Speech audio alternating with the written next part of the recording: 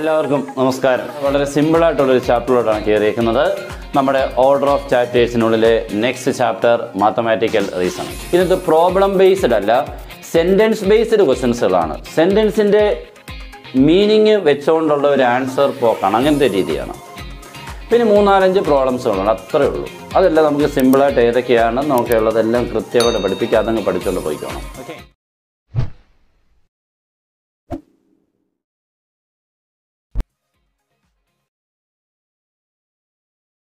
ഇത് പഠിക്കാൻ പോകുന്നത് mathematical statement a sentence is called a mathematically acceptable statement if it is true or false but not both എന്ന് പറഞ്ഞാൽ ഒരു sentence നമ്മൾ കേട്ടു. ഇങ്ങനെ ഒരു സെന്റൻസ് എന്തെങ്കിലും കേട്ടു. ആ സെന്റൻസിന് മാത്തമാറ്റിക്കലി അക്സെപ്റ്റബിൾ സ്റ്റേറ്റ്മെന്റ് ആകണമെങ്കിൽ a sentence is converted to a statement if it is true or false but not both എന്ന് പറഞ്ഞാൽ എന്താ മീനിങ് നമ്മൾ ഏതെങ്കിലും സെന്റൻസ് കേട്ടു. അതിന്റെ ആൻസർ ഒന്നുകിൽ ട്രൂ ആണെന്ന് പറയണം. ഓക്കെ നീ പറഞ്ഞത് ശരിയാണോ? ഇല്ലെങ്കിൽ നീ പറഞ്ഞത് എന്തൊരു തെറ്റാണെന്ന് ഒരിക്കലും ഇനിയും പറയില്ല. തെറ്റാണത് ക്ലിയർ കട്ടായിട്ട് അല്ല ആ ചിലപ്പോൾ ശരി ചിലപ്പോൾ തെറ്റ്. ഈ മൂന്ന് രീതികളാണ് വരാറുള്ളത്. ഇതിലത്തെ ആദ്യത്തെ രണ്ട് രീതികളിലും സ്റ്റേറ്റ്മെന്റ് ആണ്. എന്താണ്? ക്ലിയർ ആയിട്ട് ട്രൂ ക്ലിയർ ആയിട്ട് അത് ഫോൾസ് രണ്ടും സ്റ്റേറ്റ്മെന്റ് ആണ്. ബട്ട് നമുക്ക് രണ്ടും കൂടി വരും. ചിലപ്പോൾ ശരിയാവും ചിലപ്പോൾ തെറ്റാവും. അതെന്തല്ല? മാത്തമാറ്റിക്കലി അക്സെപ്റ്റബിൾ സ്റ്റേറ്റ്മെന്റ് അല്ല. അപ്പോൾ ഒരു സ്റ്റേറ്റ്മെന്റിനെ കുറിച്ച് മാത്രമാണ് ആദ്യം നമ്മൾ പഠിക്കാൻ പോകുന്നത്. നെക്സ്റ്റ് നമുക്ക് ഇതുമായിട്ട് ബേസ് ചെയ്ത കുറച്ച് പ്രോബ്ലംസ് ഓക്കെ നമ്മൾ മൂന്ന് എക്സാമ്പിൾ കാണിച്ചുകൊണ്ട് എങ്ങനെയാണ് ഒരു സെന്റൻസ് സ്റ്റേറ്റ്മെന്റ് ആവുന്നത് എന്നുള്ളത് ഉറപ്പിക്കാം. First sentence two is an even number ഒരാൾ നമ്മുടെ ഒന്ന് പറഞ്ഞു two is an even number നമ്മൾ പറയും ആ മോൻ പറഞ്ഞത് ശരിയാണ്. Okay that is a statement true ആണ്. ട്രൂ ആയിട്ടുള്ള ഒരു സ്റ്റേറ്റ്മെന്റ് ആണ്. അത് കാരണം നമുക്ക് ഉറപ്പിച്ചു. ടു ഒരു ഈവൻ നമ്പറാണെന്ന് എല്ലാവരാലും അംഗീകരിക്കപ്പെട്ടുള്ള ആർക്കും ഡൗട്ടില്ല രണ്ടാമത്തെ statement three is an even number അപ്പോൾ ഒരാൾ എന്ന് പറഞ്ഞാൽ ഒരു കൊച്ചുകുട്ടി പറഞ്ഞു അല്ലെങ്കിൽ വലിയ കുട്ടി ആരെങ്കിലും ആയിക്കോട്ടെ. Three is an even number അപ്പോൾ നമ്മൾ പറയും മോനെ അതൊക്കെ തെറ്റാണ്. അങ്ങനെയല്ല ത്രീ ഒരു odd നമ്പറായിട്ടാണ് three is an even number എന്ന് പറഞ്ഞാൽ അതെന്താണ്? തെറ്റായിട്ടുള്ളൊരു സെന്റൻസ് ആണ്. ദർ ഫോർ അതും ഒരു സ്റ്റേറ്റ്മെന്റ് ആണ്. പക്ഷേ അത് ഫോൾസ് ആയിട്ടുള്ള സ്റ്റേറ്റ്മെന്റ് ആണെന്ന് മാത്രം. തെറ്റാണ്. ഉറപ്പിച്ചു. അപ്പോഴും എന്താണത്? സ്റ്റേറ്റ്മെന്റ് ആണ് അപ്പോൾ ശരിയാണെന്ന് ഉറപ്പിക്കുന്നതും തെറ്റാണെന്ന് ഉറപ്പിക്കുന്നതും രണ്ടും സ്റ്റേറ്റ്മെന്റ് ആണ് ഓക്കെ ആണല്ലോ? അപ്പോൾ ഇതൊരു ട്രൂത്ത് സ്റ്റേറ്റ്മെന്റ് ഇതെന്താണ്? ഒരു ഫോൾസ് ആയിട്ടുള്ള സ്റ്റേറ്റ്മെന്റ് രണ്ടും സ്റ്റേറ്റ്മെന്റ് ആണ് മാത്തമാറ്റിക്സ് ഈസ് ഡിഫിക്കൾട്ട് എന്ന് പറയുന്ന മറ്റൊരു സെന്റൻസ് നോക്കിയാൽ അത് നമുക്ക് അങ്ങനെ പറഞ്ഞാൽ എല്ലാവരും അങ്ങനെയാണോ ചില പറയും എനിക്ക് ഭയങ്കര ഈസിയാണ് ചില പറയും എനിക്ക് കുഴപ്പമില്ല. ചിലർ എനിക്കിത് ഭയങ്കര ടഫാണ് അപ്പോൾ മൂന്നാൽ ആൻസറുകളാണ് അതിന് വേണ്ടി ആ സെന്റൻസിനെ ബേസ് ചെയ്തുള്ള അഭിപ്രായങ്ങൾ. അതൊന്നും ഒരു കറക്റ്റായിട്ട് ട്രൂ എന്നോ ഫോൾസ് എന്നോ നമുക്ക് ഉറപ്പിക്കാൻ പറ്റാത്തതുകൊണ്ട് that is not a statement അപ്പോൾ what is meant by statement എന്നുള്ളത് ക്ലിയർ ആയല്ലോ? ഇതൊക്കെയാണ്. സ്റ്റേറ്റ്മെന്റ്സുകളെ നമ്മൾ സാധാരണ ഡിനോട്ട് ചെയ്യുന്നത് സ്മോൾ ലെറ്റേഴ്സും കൊണ്ടാണ് കേട്ടല്ലോ. സ്റ്റേറ്റ്മെന്റ്സുകളെ ഡിനോട്ട് ചെയ്യുന്നത് small letter P A Q R എന്നൊക്കെ വെച്ചുകൊണ്ടാണ്. ഓക്കെ അപ്പോൾ നമുക്ക് സ്റ്റേറ്റ്മെന്റ് ആണോ അല്ലയോ എന്നുള്ളതിനെക്കുറിച്ചാണ് നെക്സ്റ്റ് നമുക്കൊന്ന് പഠിക്കാൻ പോകുന്നത്. എല്ലാവരും ഒന്ന് ശ്രദ്ധിക്കാം ഓക്കെ അപ്പോൾ നമുക്ക് ഒരു മൂന്നാൽ ക്വസ്റ്റ്യൻസുകൾ സ്റ്റേറ്റ്മെന്റ് ആണോ അല്ലയോ എന്നുള്ളത് മാത്രം നോക്കാം. കേട്ടോ? എക്സാമിന് അങ്ങനെ സാധാരണ ചോദിക്കാറില്ല. ഇനി ചോദിച്ചു കഴിഞ്ഞാൽ വൺ മാർക്ക് ചോദിച്ചു കഴിഞ്ഞാൽ ചെയ്യണമല്ലോ. Okay there are thirty five days in a month ഒരു മാസത്തിൽ മുപ്പത്തഞ്ച് ദിവസമുണ്ട്. അപ്പോൾ നമ്മളൊരാൾ ഇങ്ങനെ പറഞ്ഞ് നമ്മൾ പറയും ഇല്ലില്ല അങ്ങനെ ഇല്ല ഒരിക്കലും അത് തെറ്റാണ്. അല്ലേ? തെറ്റാണ്. അപ്പോൾ തെറ്റാന്ന് ഉറപ്പിക്കാൻ പറയാൻ പറ്റുമല്ലോ? അതുകൊണ്ട് അതൊരു സ്റ്റേറ്റ്മെന്റ് ആണ്. ഫോൾസ് ആയിട്ടുള്ള സ്റ്റേറ്റ്മെന്റ് ആണെന്ന് മാത്രം. ഫോൾസ് തെറ്റാണ് എന്ന് ഉറപ്പിച്ച് പറയാൻ പറ്റി. അതുകൊണ്ട് അതൊരു സ്റ്റേറ്റ്മെന്റ് ആണ്. Okay the product of eight and minus one is eight the product of eight and minus one is eight അതും തെറ്റല്ലേ? എയ്റ്റ് ഇന്റു മൈനസ് വൺ നമുക്ക് കിട്ടുന്നത് മൈനസ് എയ്റ്റ് എന്നാണ് പക്ഷെ അവർ പ്ലസ് എയ്റ്റ് ആണ് കിട്ടുന്നത് അപ്പോൾ നമുക്ക് ഉറപ്പിച്ച് പറയാൻ പറ്റിയ അതൊരു തെറ്റാണ്. ഓക്കെ അതും എന്താണ് ഒരു സ്റ്റേറ്റ്മെന്റ് ആണ്. തെറ്റെന്ന് പറയാൻ ഉറപ്പിച്ച് പറ്റിയല്ലോ സ്റ്റേറ്റ്മെന്റ് ആണ്. Today is a windy day ഇന്ന് ഭയങ്കര കാറ്റുള്ള ദിവസമാണ്. ഏത് ദിവസമോ? നമുക്കറിയത്തില്ല. അതുകൊണ്ട് അതെന്തല്ല? സ്റ്റേറ്റ്മെന്റ് അല്ല. നമുക്ക് ഉറപ്പിച്ചൊന്നും പറയാൻ പറ്റുന്ന കാര്യമേ അല്ല. Sum of three and five is greater than seven ത്രീയുടെയും ഫൈവിന്റെയും സം സെവനേക്കാളും കൂടുതലാണ്. നമുക്കറിയാം ത്രീയുടെയും ഫൈവിന്റെ സമയം എയ്റ്റാണ് അത് സെവനേക്കാളും കൂടുതലാണ്. കറക്റ്റാണ് നീ പറയുന്നത് കറക്റ്റാണ് ശരിയാണ്. അതും ഒരു സ്റ്റേറ്റ്മെന്റ് ആണ്. ട്രൂ ആയിട്ടുള്ള സ്റ്റേറ്റ്മെന്റ് ഓക്കെ അപ്പോൾ സ്റ്റേറ്റ്മെന്റ് ആണോ അല്ലയോ എന്നുള്ളത് നമുക്കൊന്ന് ചെക്ക് ചെയ്യാൻ മാത്രം ഒന്ന് പഠിച്ചു. അടുത്തിലിടുക നമ്മുടെ എക്സാമിന് ചോദിക്കുന്ന ആദ്യത്തെ ടോപ്പിക് ഷുവറായിട്ടുള്ളത് നെഗേഷൻ ഓഫ് എ സ്റ്റേറ്റ്മെന്റ് എന്ന് പറഞ്ഞാൽ എന്താ നമ്മളിപ്പം നമ്മൾ ഒത്തിരി ദിവസവും വീട്ടിലൊക്കെ ചെയ്യുന്നതാണ് കേട്ടോ. നമ്മൾ എന്താണോ അച്ഛനും അമ്മയോ അല്ലെങ്കിൽ ആരെങ്കിലുമൊക്കെ കൂട്ടുകാർ പറയുമ്പോൾ നേരെ തിരിച്ചങ്ങോട്ട് പറയുക. അത്രയേ ഉള്ളൂ. കേട്ടോ? എന്താണോ പറയുന്നത് അതിന്റെ ഓപ്പോസിറ്റ് പറയുക. അതാണ് എന്ത്? നെഗേഷൻ ഇവിടെ അതിന് മാർഗമുണ്ട്. കേട്ടല്ലോ? എന്താണ്? എന്ന് നമുക്ക് ഒരു ചെറിയ എക്സാമ്പിൾ കൂടെ നോക്കാം. ന്യൂഡൽഹി ഈസ് എ സിറ്റി അതൊരു സ്റ്റേറ്റ്മെന്റ് ആണ്. അതിന്റെ നെഗേഷൻ എഴുതുക എന്ന് പറഞ്ഞാൽ നമുക്കതിനൊരു പേര് കൊടുത്തു. ആയിരുന്ന പി. ദെൻ നെഗേഷൻ പി എഴുതുമ്പോൾ തന്നെ ഇങ്ങനൊരു സിമ്പിളാണ് ഇതാണ് എന്താ? നെഗേഷന്റെ സിമ്പിൾ മീൻസ് ഓപ്പോസിറ്റ് ഞാൻ എഴുതാൻ പോവാണ്. ആരുടെ? പിയുടെ എന്ന് പറയുമ്പോൾ New Delhi is not a city. അതാണ് അതിന്റെ എന്ത് നെഗേഷൻ അപ്പോൾ നമുക്ക് നോട്ട് ചേർത്ത് എഴുതണം. നോട്ട് ഇല്ല എങ്കിൽ നോട്ട് ചേർത്ത് എഴുതണം. നോട്ട് ക്വസ്റ്റ്യൻ ഉണ്ടെങ്കിൽ നോട്ടിനെ കളഞ്ഞെഴുതണം ഇതാണ് അതിന്റെ മീനിങ് മീൻസ് നേരെ ഓപ്പോസിറ്റ് പറയണം. ഇനി എന്തെങ്കിലും നമുക്ക് ബുദ്ധിമുട്ട് ഉണ്ടെങ്കിൽ ഇങ്ങനെ എഴുതാം. ഇറ്റ് ഈസ് ഫോഴ്സ് ദാറ്റ് എന്നങ്ങോട്ട് എഴുതുക എന്നിട്ട് ഈ ക്വസ്റ്റ്യൻ അതേപടി ബാക്കി അങ്ങ് എഴുതുക. എപ്പോഴും ഈസി ഓക്കെ ഇതാണ് എനിക്ക് ഏറ്റവും എളുപ്പമുള്ള പരിപാടി. ഒരു ക്വസ്റ്റിന് നെഗേഷൻ ചോദിച്ചു. അപ്പോൾ നമ്മൾ എന്തുകൊണ്ട് ആൻസർ ചെയ്യണം? ഇറ്റ് ഈസ് ഫോൾസ് ദാൻ നീ എന്താ പറഞ്ഞത്? അത് തെറ്റാണ് എന്നിട്ട് ആൻസർ എഴുതും മനസ്സിലായല്ലോ? ഇറ്റ് ഈസ് ഫോൾസ് ദാൻ നീ ഇവിടെ എന്താണോ പറഞ്ഞത്? അത് ഫോൾസ് മീൻസ് തെറ്റാണ്. അപ്പോൾ അതിന്റെ ഓപ്പോസിറ്റ് ആണ് പറഞ്ഞത്. മനസ്സിലായല്ലോ? ഓർ അല്ലെങ്കിൽ ഞാൻ പറയുന്നതാണ് New Delhi is not a city okay ഇങ്ങനെയും ആൻസർ എഴുതാം. ഈ രണ്ട് രീതിയിൽ കൂടെയും നമുക്ക് നെഗേഷൻ എഴുതാം. ഇതായിരിക്കും നിങ്ങൾക്ക് നല്ലത്. ഏത് ക്വസ്റ്റിന്റെയും നെഗേഷൻ എഴുതാൻ ചോദിച്ചു കഴിഞ്ഞാൽ എന്താണ് ക്വസ്റ്റിന് തന്നേക്കുന്നത്? അതിന് മുൻപായിട്ട് ഇറ്റ് ഈസ് ഫോൾസ് ദാറ്റ് എന്നങ്ങോട്ട് തുടങ്ങുക. ബാക്കി ക്വസ്റ്റ്യൻ ഫുള്ള് നോക്കി എഴുതുക. ആൻസറായി ഓക്കെ ഇപ്പോൾ റൂട്ട് സെവൻ ഈസ് ഇറാഷണൽ എന്നൊരു ക്വസ്റ്റ്യൻ വന്നു. നെഗേഷൻ എഴുതാൻ. നമ്മൾ എന്ത് എഴുതും? Root seven is not irrational ഇല്ലെങ്കിൽ റൂട്ട് സെവൻ ഈസ് റാഷണൽ അല്ലെങ്കിൽ it is false that root seven is irrational ആ ക്വസ്റ്റ്യൻ ബാക്കി നോക്കി എഴുതുന്നു. ഇറ്റ് ഈസ് ഫോൾസ് ദാറ്റ് കഴിഞ്ഞിട്ട് മനസ്സിലായല്ലോ? അപ്പോൾ two is an even number അപ്പോൾ നമ്മൾ എന്ത് എഴുതും? It is false that two is an even number three is an odd number അതിന്റെ നെഗേഷൻ എഴുതാൻ പോയിച്ചാൽ it is false that three is an odd number അപ്പോൾ ഏത് ക്വസ്റ്റ്യൻ ചോദിച്ചാലും അതിന്റെ നെഗേഷൻ എഴുതാൻ പറഞ്ഞാൽ നിങ്ങൾക്ക് ഡയറക്റ്റ്ലി എഴുതാൻ ഏറ്റവും എളുപ്പം എന്താണ്?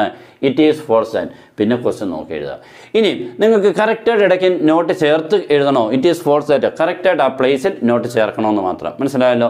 ഇങ്ങനെയാണ് എന്ത്? നെഗേഷൻ എഴുതാൻ പറഞ്ഞത്. അപ്പോൾ നെഗേഷൻ എഴുതാൻ പറഞ്ഞാൽ ഏത് ക്വസ്റ്റ്യന്റെയും എന്ന് തുടങ്ങിയാൽ മതി. It is false that question ബാക്കി നോക്കി എഴുതുക. ഓക്കെ ആണല്ലോ? ക്ലിയർ ആണല്ലോ? ഇനി ഇതൊന്നും പ്രത്യേകിച്ച് പറയേണ്ടതല്ലോ.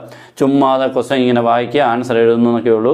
സെന്റൻസ് ബേസ്ഡ് ഓക്കെ നമ്മൾ വളരെ ഇമ്പോർട്ടന്റ് ആയിട്ടുള്ള അടുത്ത സെക്ഷനിലോട്ട് കയറി ഇതാണ് എക്സാമിന് ഏറ്റവും കൂടുതൽ ചോദിച്ചിട്ടുള്ള രണ്ടാമത്തെ ടോപ്പിക് വളരെ ഇമ്പോർട്ടന്റ് പഠിച്ചോണം. Contrapositive and converse contra എന്നുള്ള വേടൊക്കെ നിങ്ങൾ കേട്ടുള്ളതാണ്. എന്താണ് കോൺട്രാ പോസിറ്റീവും കോൺവേഴ്സും ഇഫിലും ദെന്നിലും ഉള്ള ഒരു സ്റ്റേറ്റ്മെന്റാണ് നമുക്ക് ഇതിനു വേണ്ടി യൂസ് ചെയ്യുന്നത്. ഇഫിൽ തുടങ്ങുന്നു ഒരു സ്റ്റേറ്റ്മെന്റ് ദെന്നിൽ തീരുന്നു മറ്റൊരു സ്റ്റേറ്റ്മെന്റ് ഇഫ് ദെൻ ഇഫ് കഴിഞ്ഞിട്ട് ഒരു സെന്റൻസ് ദെൻ കഴിഞ്ഞിട്ട് മറ്റൊരെണ്ണം. ഓക്കെ ആണല്ലോ? ഇങ്ങനെയുള്ള സെന്റൻസിനെ കോൺട്രാ പോസിറ്റീവും കോൺവേഴ്സും ചോദിക്കുള്ളൂ. എങ്ങനെയാണ് അതിനെ എഴുതുന്ന എളുപ്പവഴി ഒന്ന് മനസ്സിൽ ഓർത്തിരിക്കാനുള്ള ക്ലൂ കേട്ടോളൂ. അപ്പോൾ ഒന്നിടയ്ക്ക് ഒന്ന് കേട്ടോ.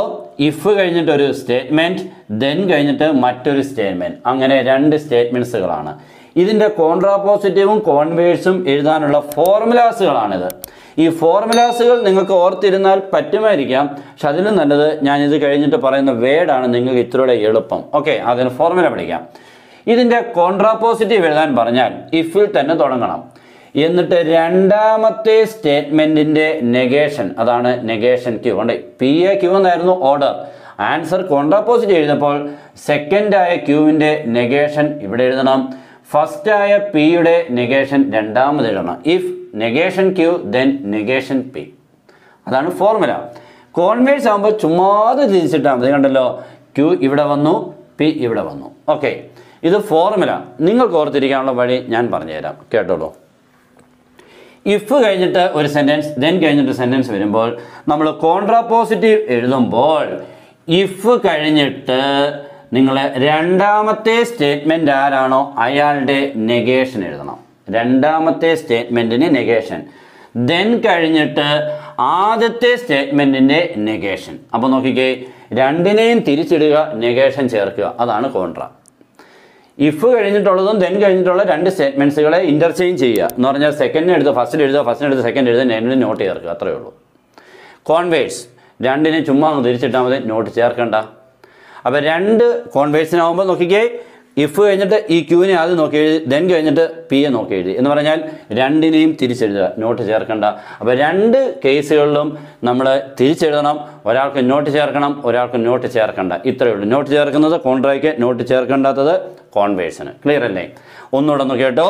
നമുക്ക് ഒരു എക്സാമ്പിൾ കൂടെ ആകുമ്പോൾ അതങ്ങ് ക്ലിയർ ആയിക്കോളും. നോക്കിക്കേ write the contrapositive and converse എന്നൊരു question if a number is divisible by nine then it is divisible by three ഇവിടുത്തെ ഫസ്റ്റ് സെന്റൻസ് ഏതാണ്? ഇതാ നമ്മുടെ ഫസ്റ്റ് പി എന്ന് ഉദ്ദേശിക്കുന്നത് ക്ലിയർ അല്ലയോ? ദെൻ കഴിഞ്ഞ് വരുന്ന ഡി ആളാണ് നമ്മുടെ ക്യൂ ഓക്കെ ആണല്ലോ? അങ്ങനെയാണെങ്കിൽ ഇതിന്റെ കോൺട്ര നമ്മൾ എഴുതുന്നത് എല്ലാവരും ഒന്ന് ശ്രദ്ധിച്ചോളൂ. ഇഫിൽ തുടങ്ങി. ധന്യ തീർന്നു. ഓക്കെ ഇതൊക്കെ ഓർത്തിരിക്കാൻ വേണ്ടിയാണ്. ഇതൊക്കെ കാണുമ്പോൾ നിങ്ങൾ ഒരിക്കലും പിന്നെ മറക്കത്തില്ല. നോക്കിക്കോണം. ഇഫ് കഴിഞ്ഞിട്ട് രണ്ടാമത്തെ സ്റ്റേറ്റ്മെന്റ് ഇവിടെ കൊണ്ടെഴുതണം നോട്ട് ചേർത്ത്. ഇയാളെ ഇവിടെ കൊണ്ടെഴുതണം നോട്ട് ചേർത്തിട്ട് അപ്പോൾ രണ്ടുപേരെയും തിരിച്ചിടണം നോട്ട് ചേർക്കണം. ഓക്കെ സ്റ്റാർട്ട് ചെയ്യാം. If a number is if a number is not divisible by three ഉണ്ടോ it is divisible by three ആയിരുന്നു അതിന് നോട്ട് ചേർത്ത് എഴുതി. If a number is not divisible by three then it is not divisible by nine not divisible by nine അപ്പോൾ എന്താ ചെയ്തത്? ഇയാൾ ഇവിടെ കൊണ്ടെഴുതി ഇയാൾ ഇവിടെ കൊണ്ടെഴുതി രണ്ടിനും നോട്ട് ചേർത്തു. That is contrapositive then converse converse എഴുതുമ്പോൾ പിന്നെയും നമ്മൾ തുടങ്ങുകയാണ് ഇഫ് കഴിഞ്ഞിട്ട് ഒരു സെന്റൻസ് വരും ദെൻ കഴിഞ്ഞിട്ട് മറ്റൊരു സെന്റൻസ് വരും. എങ്ങനെ? ഇയാളെ ഇവിടെ എഴുതുക ഇയാളെ ഇവിടെ എഴുതുക. അത്രയേ ഉള്ളൂ. ഒന്നും ചേർക്കണ്ട. തിരിച്ച് ഉമ്മ എന്ന് എഴുതിയാൽ മതി. If a number is divisible by three then it is divisible by nine തീർന്നു. ഇപ്പോൾ ആ ലോജിക്ക് ക്ലിയർ ആയില്ലയോ? എങ്ങനെയാണ് കോൺട്രാ പോസിറ്റീവ് എഴുതേണ്ടത്? എങ്ങനെയാണ് കോൺവേഴ്സ് ഉണ്ടെന്ന് മനസ്സിലായല്ലോ? രണ്ടിനെയും തിരിച്ചിടണം രണ്ട് കേസിലും. നോട്ട് ചേർത്ത് എഴുതേണ്ടത് കോൺട്രാ പോസിറ്റീവ് നോട്ട് ചേർക്കാതെ എഴുതേണ്ടത് കോൺവേഴ്സ് രണ്ട് എക്സാമ്പിൾ കാണുമ്പോൾ അതങ്ങ് ക്ലിയർ ആവും. എക്സാമിന്റെ ഷുവർ ക്വസ്റ്റ്യൻ ഓക്കെ നമ്മുടെ കോൺട്രാ പോസിറ്റീവും കോൺവേഴ്സ് എഴുതാനുള്ള രണ്ട് എക്സാമ്പിളോട് അതങ്ങ് തീരും. ഓക്കെ ആക്കാം. ശ്രദ്ധിച്ചോ? എന്റെ ഫോർമുലയാണിത് ടെക്സിലെ അല്ല. ഇത് നിങ്ങൾക്ക് നോക്കിക്കോ. ഒന്ന് ഓർത്തിരിക്കുകയാണ്. ഇഫ് വൺ ദെൻ ടു ഇങ്ങനെയാണ് നമ്മുടെ സാധാരണ ഇഫ് കഴിഞ്ഞിട്ട് ഒരെണ്ണം വരും ദെൻ കഴിഞ്ഞിട്ട് മറ്റൊരു രണ്ടാമതാൾ വരും. കോൺട്ര എഴുതുമ്പോൾ ഇഫ് തന്നെ തുടങ്ങിയിട്ട് രണ്ടാമത് നെഗേഷൻ എണ്ണം ദെൻ കഴിഞ്ഞിട്ട് ഒന്നാമത്തിന്റെ നെഗേഷൻ എണ്ണം മീൻസ് തിരിച്ചിട്ടിട്ട് നെഗേഷൻ കൊടുത്തു. കോൺവേഴ്സ് ആകുമ്പോൾ ഇഫ് തന്നെ ടു ആദ്യം എഴുതണം വൺ രണ്ടാമത് എഴുതണം എന്ന് പറഞ്ഞാൽ രണ്ടിനും തിരിച്ചിടണം. രണ്ടിടത്ത് നെഗേഷൻ കൊടുക്കുമ്പോൾ കോൺട്ര കിട്ടും രണ്ടിനും ഒന്നും കൊടുക്കാതെ തിരിച്ച് മാത്രം ഇട്ട് കഴിഞ്ഞാൽ കോൺവേഴ്സ് കിട്ടും. ഓക്കെ നോക്കിക്കേ if negation two then negation one ഇവിടെ ഇഫ് ടു ദെൻ വൺ അപ്പോൾ രണ്ടെണ്ണം നോക്കിക്കേ ആദ്യം ടു എഴുതത് രണ്ടാമത് വൺ എഴുതി രണ്ടിനെ തിരിച്ചിട്ടു. നെഗേഷൻ കൊടുത്ത് ഫസ്റ്റ് നെഗേഷൻ കൊടുക്കാതെ സെക്കൻഡായ കോൺവേഴ്സ് ഓക്കെ ആണല്ലോ നോക്കാം. If X is a prime number then X is odd അപ്പോൾ ഇഫ് കഴിഞ്ഞ് വന്നേക്കുന്നത് ഇയാളല്ലയോ ഇതാണ് നമ്മുടെ വൺ എന്ന് ഉദ്ദേശിക്കുന്നത്. ദെൻ കഴിഞ്ഞ് വന്നേക്കുന്നത് ഇയാളല്ലയോ ഇതാണ് നമ്മുടെ ടു അപ്പോൾ ആൻസർ കോൺട്രാ പോസിറ്റീവ് എഴുതുമ്പോൾ ഇഫ് കഴിഞ്ഞിട്ട് ഇയാളെ ഇവിടെ കൊണ്ടെഴുതണം ഇയാളെ ഇവിടെ കൊണ്ടെഴുതണം രണ്ടിനും നോട്ട് ചേർക്കണം. ക്ലിയർ അല്ലയോ? ഇഫ് എന്താണ് ഇവിടെ എഴുതേണ്ടത്? ദെൻ കഴിഞ്ഞിട്ട് ഇവിടെ എന്താണ് എന്നുള്ളത് നോക്കിക്കോ. If x is not and odd if x is not and odd then x is not a prime. That's all അപ്പോൾ നോക്കിക്കേ രണ്ടും തിരിഞ്ഞു വന്നു രണ്ടിനും നോട്ട് ചേർത്തു. ദാറ്റ് ഈസ് കോൺട്ര നെക്സ്റ്റ് കോൺവേഴ്സ് എഴുതുമ്പോൾ പിന്നെയും ഇഫ് കഴിഞ്ഞിട്ട് ദെൻ കഴിഞ്ഞിട്ട് ഇങ്ങനെ രണ്ട് ബോക്സസ് എന്താ ചുമ്മാ തിരിച്ചിട്ടാണ് ഇത് ഇവിടെ കൊണ്ടിരുന്നു ഇവിടെ ഇവിടെ കൊണ്ടിരുന്നു നോക്കിക്കോ. X is an odd number then x is a prime number തീർന്നു. അപ്പോൾ രണ്ടിനെയും തിരിച്ചിട്ടു അത്രയേ ഉള്ളൂ രണ്ടിനെ തിരിച്ചിട്ട് നോട്ട് ചേർത്തപ്പോൾ കോൺട്രാ കിട്ടി. രണ്ടിനെ ചുമ്മാ തിരിച്ചിട്ടപ്പോൾ നമ്മുടെ കോൺവേഴ്സ് കിട്ടി. ക്ലിയർ അല്ലേ? നോക്കിക്കോ. രണ്ടാമത്തെ ഇഫ് ഇവിടെ തൊട്ടാണ് ഇത്രയാണ് നമ്മുടെ വൺ ഇത്രയാണ് നമ്മുടെ ടു മീൻസ് പിയും ക്യൂവിനും വരും വണ്ണിനും ടു പറഞ്ഞതേ ഉള്ളൂ. ഓക്കെ ആണല്ലോ? എന്ന് നോക്കുക വാക്യം question if you are born in India then you are a citizen of India answer എഴുതുമ്പോൾ നമ്മൾ ഇയാളെ ആദ്യം എഴുതണം ഇയാളെ രണ്ടാം എഴുതണം നോട്ട് ചേർക്കണം. Okay if you are a citizen of India എന്നുള്ളത് ഇവിടെ വരണം നോട്ട് ചേർത്ത്. Then you were not born in India എന്നുള്ളത് രണ്ടാമത് എഴുതണം. ഓക്കെ സ്റ്റാർട്ട് ചെയ്യാൻ പോണ if you are not a citizen of India ഒന്നാമത്തെ ആയല്ലോ if you are not a citizen of India then you were not born in India അതാണ് നമ്മുടെ ആദ്യത്തെ കോൺട്രാപ്പോസിറ്റ് ഇയാളെ ആദ്യം എഴുതിയായിരുന്നു ഇയാളെ രണ്ടാമത് എഴുതി രണ്ടിന് എന്ത് എഴുതി? നോട്ട് ചേർത്ത് എഴുതി. ഓക്കെ കോൺവേഴ്സ് എഴുതുമ്പോൾ if if you are a citizen of India if you are a citizen of India then you are born in India Then you are born in India തീർന്നു. അപ്പോൾ ഇത് ക്ലിയർ ആയല്ലോ. അപ്പോൾ എല്ലാവർക്കും contra പോസിറ്റീവും കോൺവേഴ്സും എന്നുള്ള ഒരു ക്വസ്റ്റൻ വന്നാൽ ആർക്കും കുഴപ്പമില്ല. എല്ലാവർക്കും അതിന്റെ ലോജിക് മനസ്സിലാക്കണം. ലോജിക് ഇഫ് കഴിഞ്ഞിട്ട് ദെൻ കഴിഞ്ഞിട്ട്. ഇഫ് രണ്ട് പേര് വരും. നമ്മൾ കോൺട്ര എഴുതുമ്പോൾ ഇഫ് കഴിഞ്ഞിട്ട് രണ്ടാമത്തെ ആളെ നോക്കി നോട്ട് ചേർത്തിടണം. ദെൻ കഴിഞ്ഞിട്ട് ആദ്യത്തെ ആളെ നോട്ട് ചേർത്ത് രണ്ടാമത് ഇടണം. തിരിച്ചും മറിച്ചും നോട്ട് ചേർത്ത്. കോൺവേഴ്സ് ആകുമ്പോൾ തുമ്മ തിരിച്ചു മറിച്ച് എഴുതിയാൽ മതി. ഓക്കെ ആണല്ലോ? ഓക്കെ നമ്മുടെ ഇന്നത്തെ ക്ലാസ് ഇതുകൊണ്ട് കംപ്ലീറ്റ് ചെയ്യാം. ഇതേപോലെ നമുക്ക് സിമ്പിളാക്കി എല്ലാ ചാപ്റ്ററും കംപ്ലീറ്റ് ചെയ്ത് ഒരു എക്സാം നമുക്കൊരു മോഡൽ ക്വസ്റ്റ്യൻ ഉണ്ടാവും. അതൊരു ദിവസം നമ്മൾ പറയും. അന്ന് എല്ലാവരും റെഡി ആയിട്ടിരിക്കണം. ഓക്കെ ആണല്ലോ? നമുക്ക് അപ്പോൾ ഇന്നത്തെ ക്ലാസ് നിർത്താം. എല്ലാവരും എല്ലാവരിലോട്ടും മാക്സിമം ഷെയർ ചെയ്യുക. ആദ്യമായിട്ട് ആരെങ്കിലും കാണുകയാണെങ്കിൽ അവരെ സബ്സ്ക്രൈബ് ചെയ്ത് മറ്റുള്ളവർ ഷെയർ ചെയ്യുക. പ്ലസ് ടുവിന്റെ ക്ലാസ്സുകൾ നിങ്ങൾക്ക് കറക്റ്റായിട്ട് ക്ലാസ് ഇതേപോലെ എടുത്ത് പോകാൻ പറ്റും. നിങ്ങൾക്ക് ജോയിൻ ചെയ്യാം. വാട്സപ്പ് വഴി ജോയിൻ ചെയ്യാം. ഇല്ലെങ്കിൽ നിങ്ങൾക്ക് അതിൽ കൂടെ കോൾ ചെയ്തിട്ട് ജോയിൻ ചെയ്യാം. ഓക്കെ